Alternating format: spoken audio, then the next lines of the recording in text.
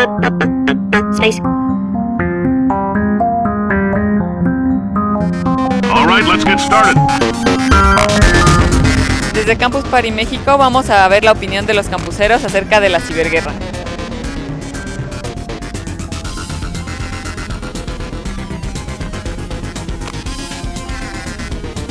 Dinos, para ti, ¿qué es la ciberguerra? Bueno, supongo que deben ser ataques cibernéticos de una computadora de algún hacker hacia alguna institución del gobierno o hacia simplemente páginas de internet. ¿Cómo crees que eso te puede afectar a ti? Bueno, dependiendo, si es información del gobierno pueden estarse robando mis datos personales. Páginas de internet como Facebook, Twitter también contienen ciertos datos que son míos. Supongo que podrían robarlos para, no sé, tal vez tratarme de extorsionar o simplemente borrar los datos.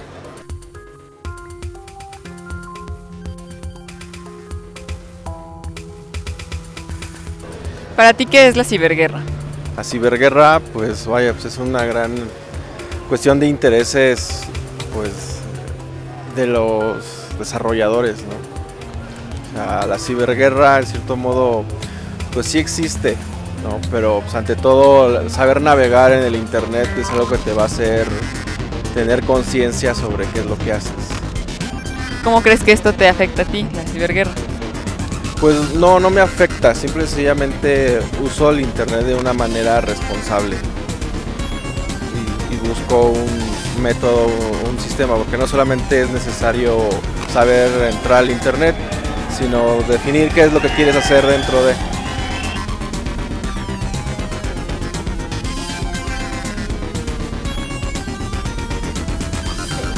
Para ti, ¿qué es la ciberguerra? Como, no sé, muchas personas eh, metidas en esto de la informática que, que luchan entre sí, no sé. Para ti. Es una forma de, de los hackers. Bueno, prácticamente se unen para poder este, generar un ataque este, global. ¿Y cómo creen que esto les afectaría a ustedes? Ah, pues no sé, tiene que ver con el internet, entonces igual si desconectaran el internet, bueno, es una forma de comunicación para todos, entonces pues sí nos afectaría de cierta manera. Pues afectar en sí, si hubiese una cultura, prácticamente este, no tendríamos esos problemas. Entonces, este, yo digo que habría, debería haber una cultura para, en cuestión de seguridad para todos, ¿no? Eh, No necesitas saber este, realmente ser hacker o ser una persona que sepa de seguridad, sino debe haber una cultura aquí en México para poder este, protegernos contra este tipo de, de situaciones.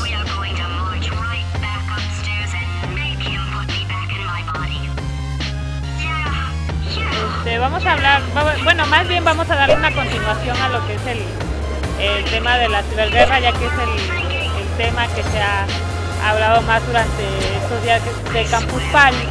Y para retomar el concepto, este, primero vamos a definirlo, ¿no? Este, al menos en, la plática que yo di, lo, lo denominé como este, un evento más bien políticamente hablando, ¿no? En el aspecto de que de alguna manera su propósito es el caos y también el, dominio, pero ya no utilizando a un armamento convencional, sino utilizando ya este, lo que es este, la, la parte informática, la parte de la informática para realizar estos ataques.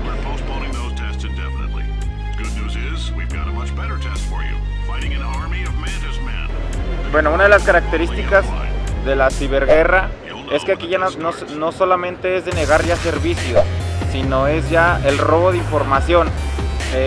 A- ahorita hay un problema muy grande entre el hacktivismo y la ciberguerra. Entonces, esos términos se están mezclando, lo cual son cosas completamente distintas. Los ataques de, ciberguerra son lo más silenciosos posibles y se basan, por ejemplo, en el robo de información, en el ataques hacia, hacia la industria, robo de información de la industria. Este, y, y, y, el ciberactivismo se basa en, en, en protestas, en, en, algo que se quiere hacer, que se dará a conocer. Y la ciberguerra es, es, un poco menos, es menos, un poco silenciosa o algo así.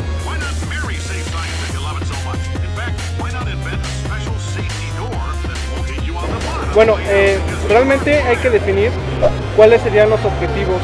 Eh, por lo cual se viene dando lo que es la, la ciberguerra. Eh, como bien sabemos, en este mundo globalizado eh, dependemos ya al 100% de la tecnología. Entonces, un ejemplo, si un gobierno ataca o tiene eh, roces con otro gobierno, pero por las, eh, por las reglas que define la ONU para declarar un estado de guerra, eh, realmente entraríamos en un caos ¿no? o en una tercera guerra mundial. Una manera para realmente eh, desestabilizar al gobierno, eh, al gobierno objetivo es atacar sus sistemas informáticos. ¿Para qué? Esto, esto viene siendo, eh, en primera, si atacan su bolsa de valores, devalúan su moneda. Al devaluar su moneda, ya le estarían dando un golpe muy, muy, muy bajo al, gobierno. Ahora, sus comunicaciones. En caso de que de- declararan un estado de guerra, eh, si empiezan a bloquear o interceptar sus comunicaciones, eh, pueden, en primer lugar, casi casi ganar la guerra, porque ya estarían el- robando información.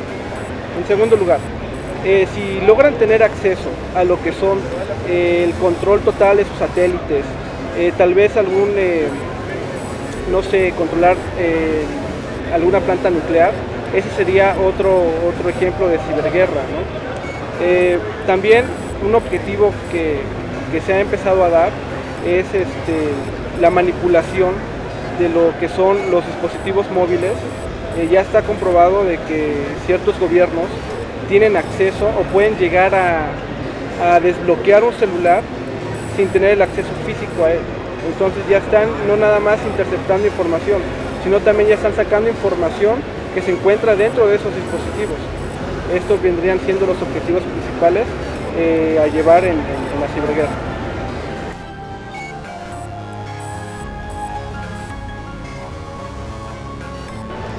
Recientemente han salido noticias de gobiernos controlando sistemas de datos, este, internet, este, redes sociales, para poder vigilar, según ellos, contra terrorismo, según ellos, contra delincuencia organizada.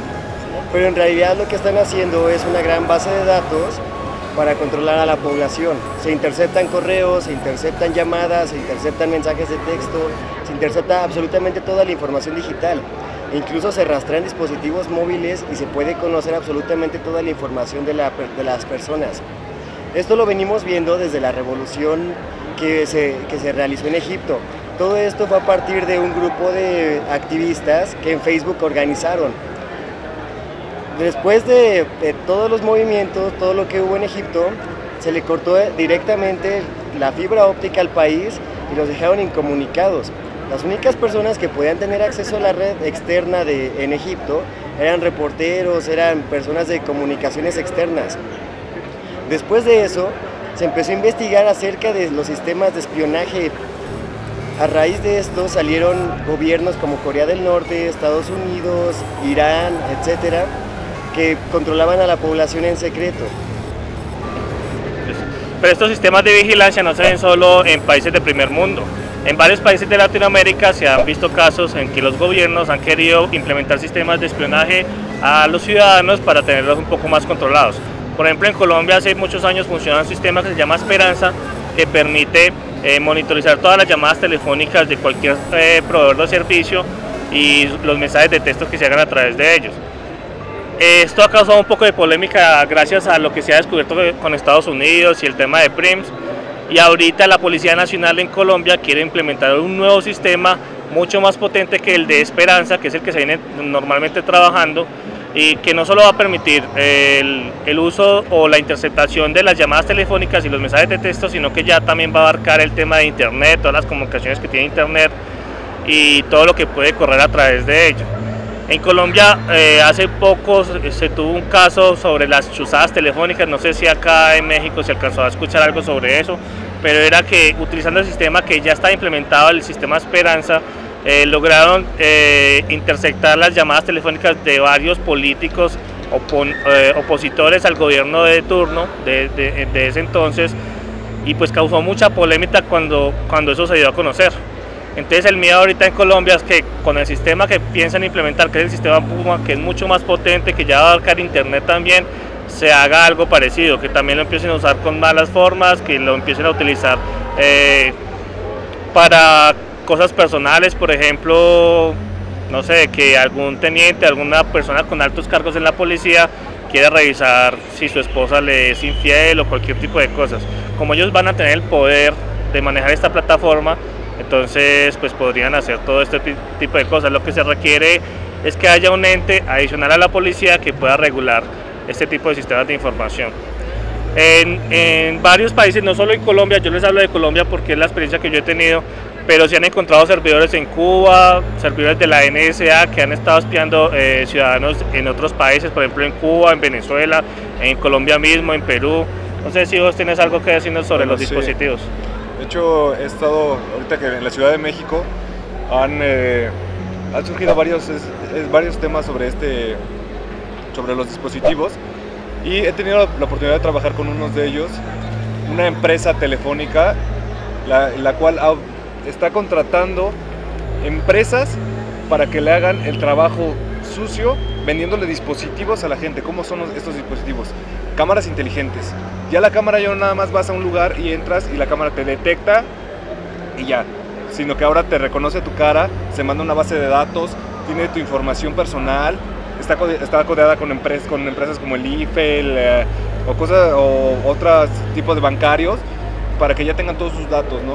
Aparte, te están espiando, se dio un, un caso muy fuerte en Veracruz que se le, se le metió un pequeño dispositivo al SIM del, del celular del, del- del gobernador y bueno, se sacaron bastantes llamadas públicas, a la luz pública, perdón, en los cuales, pues bueno, información comprometedora, cada vez los dispositivos van siendo más avanzados desde una USB con alguna modificación, este, chips tamaño miniatura, de inclusive en Mercado Libre se han visto dispositivos como son plumas espía, que ya es una- un dispositivo demasiado pequeño, eh, botones en forma de, de cámaras, lentes, hasta llaves.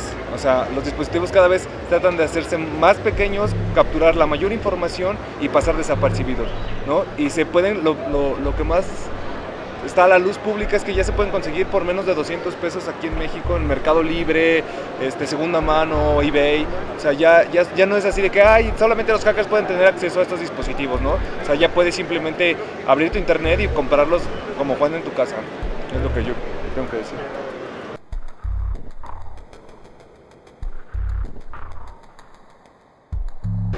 Hola, ¿qué tal? Buenas tardes. Sí, les voy a platicar de los países eh, más involucrados en la parte de eh, ciberespionaje. En, esta ocasión, pues bueno, yo lo que creo es que en realidad todos los países que son aliados de Estados Unidos tienen que ver con todo lo que es ciberespionaje, ciberguerra y ese tipo de, de cosas. Yo creo que es, es una alianza que se formó a partir de que Estados Unidos quería tener el poder y el control de todo lo que sucedía para con, ciud- con sus ciudadanos y hacia afuera. Cuando se destapó todo esto con Snowden, lo primero que se descubrió es que sus aliados como Inglaterra y bueno, básicamente Australia, estaba, Alemania también, estaban demasiado involucrados y eran los que permitían que en sus servers existieran logs y existieran este tipo de programas para espiar. Todo el grupo de los que son el G20, el G7, todo este tipo de grupos y esas alianzas en general están coordinadas pues no solo por altos mandos, ¿no? sino por una, le voy a llamar una élite de organizaciones, de, de gobiernos también, que lo único que quieren es tener no solo el control, sino saber todo lo que sucede a su alrededor, les importe o no les importe, quieren tenerlo. Prueba de ello es que rastrean palabras entre comillas importantes, como lo que son, no sé, asesinato, presidente, bomba, terrorismo, ese tipo de palabras según ellos son las que siempre están rastreando. Se ha aceptado públicamente el hecho de que están esnifeando y que están grabando todas las comunicaciones que pasan tanto por sus servers y no es casualidad que la mayoría de los servers principales se encuentren en Estados Unidos. Como ciudadanos, pues somos, vamos, ciudadanos mortales, estamos muy afectados por esto y somos demasiado afectados por esto. ¿Por qué? Porque ¿dónde queda el derecho a la privacidad? Ellos con su pretexto de poder cuidar su soberanía, violan la soberanía de los demás. Entonces, dejan vulnerables a países como México. Por ejemplo, México sabe que es espía y sin embargo no hace nada ni va a hacer nada. ¿Por qué? Porque es Estados Unidos. Estados Unidos lo único que hace es chantajear y decir, si no me apoyas te bloqueo. Un caso es Cuba. Y de hecho se acaba de destapar la noticia de que Snowden, por ejemplo, fue, le, le fue concedido el asilo con Rusia y lo primero que dijo Estados Unidos es que eso mermaba las relaciones con Rusia. Es una evidente y muy, muy sonada prueba de autoritarismo, como lo que hicieron con el presidente Evo Morales.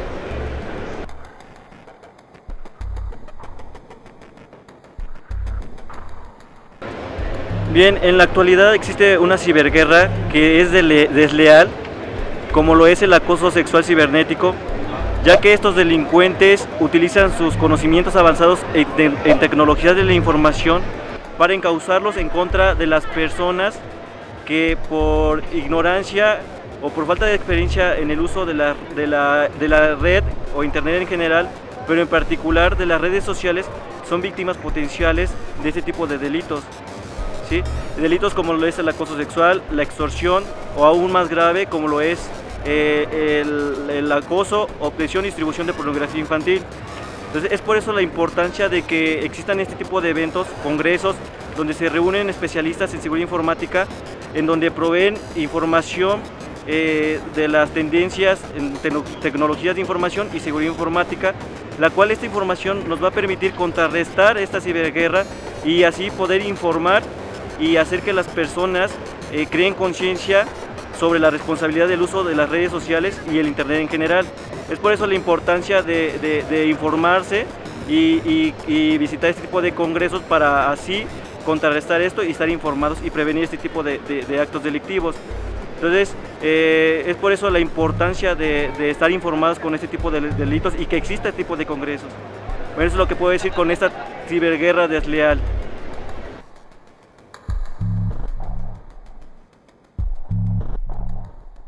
Este, lo que fue el Stuxnet es este, un virus creado este, en lo que fue Israel, este, que se estuvo distribuyendo en distintas máquinas en las que destacan lo que son las plantas de energía este, nuclear este, para mm, más que nada obtener este, distintos tipos de secretos, cómo es que operan estas plantas y en ciertos momentos dar un shutdown, o sea, que todas estas plantas lleguen a apagarse este, al mismo tiempo y dejar sin energía a este país.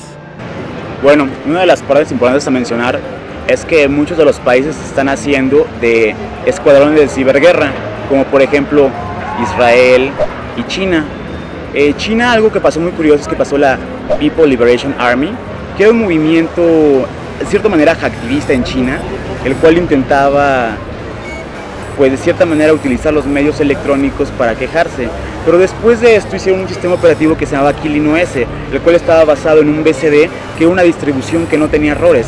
¿Para qué tú construyes un sistema operativo blindado? ¿Para qué tú construyes un equipo de ciberguerra táctica? ¿Y por qué varios países están empezando a tener estos equipos de ciberguerra táctica? En algún momento uno va a agregar a otro de una manera más activa, no solamente la parte de estar, eh, por así diciendo, capturando o espiando, va a ser algo más activo y van a empezar los escuadrones de ciberguerra a atacarse unos con otros y están preparados, tienen infraestructura y sobre todo están respaldados por el gobierno, lo cual puede causar pues un daño masivo en cualquier país. Say goodbye, Carolyn. Goodbye, Carolyn.